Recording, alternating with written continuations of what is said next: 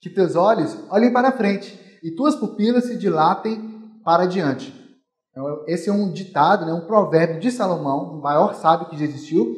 Ele é autor do livro de Provérbios na Bíblia e, claro, tem outras pessoas ali que escreveram provérbios também que estão naquele mesmo livro.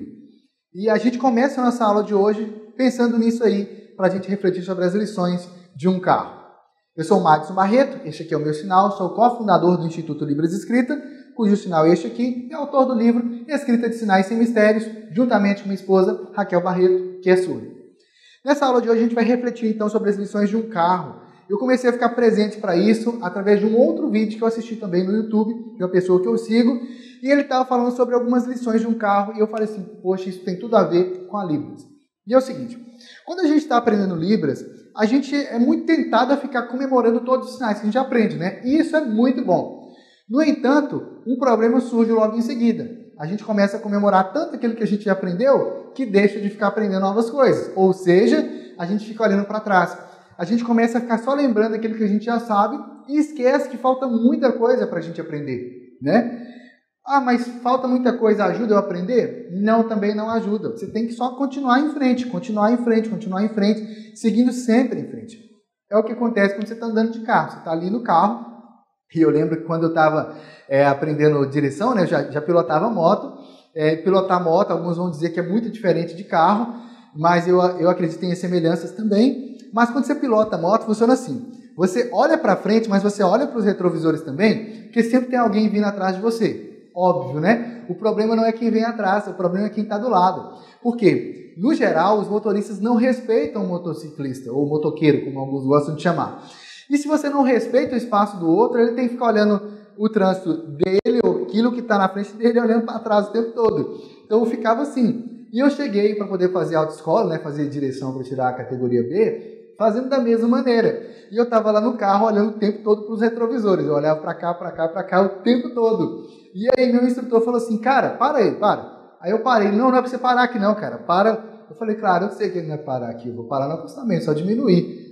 Aí eu diminui a velocidade, parei no acostamento, ele falou assim, cara, não tem como você dirigir, não tem como você dirigir um carro se você só fica olhando o retrovisor. Porque olha o tamanho do para-brisa que tem aqui na sua frente. E realmente o para-brisa é enorme, né? E os retrovisores são pequenos.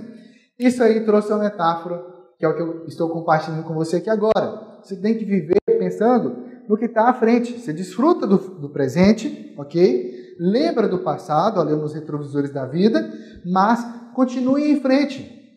Embora você deva comemorar sua aprendizagem, você tem que continuar em frente, você tem que continuar rumo àquele que é o seu objetivo, rumo ao seu alvo. Alcançou aquele alvo, beleza, comemorou, festejou, talvez você fez literalmente uma festa, mas agora é hora de ir em frente, agora é hora de você continuar, você tem que ir para o próximo passo, você tem que ir para o próximo nível.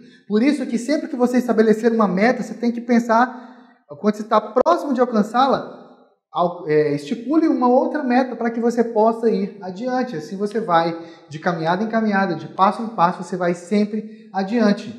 Se você ficar dirigindo um carro só olhando para o retrovisor, você vai bater. Assim acontece com a vida também. Essa foi a nossa reflexão de hoje. Se você gostou, se de alguma forma ela contribuiu para você, deixe seu comentário aqui abaixo. É muito importante você deixe seu comentário. É provável que você talvez não esteja vendo comentário de outras pessoas aqui ainda, ou esteja vendo poucos.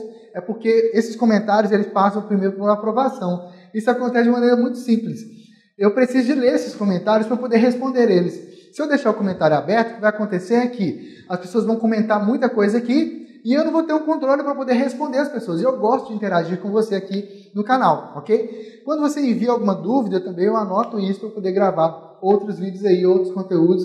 Como você tem visto aqui, eu tenho respondido sempre a pergunta das pessoas que têm me enviado aqui, ok? Compartilhe essa aula com seus amigos. Também se inscreva aqui no canal para que você possa estar sempre atualizado aí. E claro, clique naquele sininho de notificações para você receber as notificações aí no seu celular, eh, no seu tablet, no seu computador, enfim onde quer que seja que você está acessando esse vídeo aqui. Eu te vejo em nossa próxima aula.